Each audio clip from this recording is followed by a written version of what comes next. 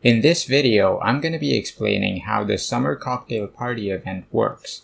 So, let's get started. This is an event where you're required to collect three different items to make various cocktails.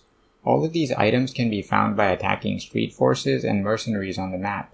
As usual, you can get double rewards while attacking street forces with a Blue Devil Roadster. You can make up to 16 different cocktails from this event, and each one gives you a different buff that lasts for 10 minutes after you consume it. The buffs cannot be stacked, so if you drink multiple cocktails in a row, then you'll only get the buff of the last one. This event is somewhat similar to the fishing event. You're required to collect more cocktails to get rewards and you get the final reward once you've collected all 16 cocktails, which is a 7 day intoxicating romance turf effect along with other rewards. In my opinion, this event is totally worth doing because you don't need to do anything extra to get rewards from this event. All you need to do is grind street forces and mercenaries, which is something that most people do anyways.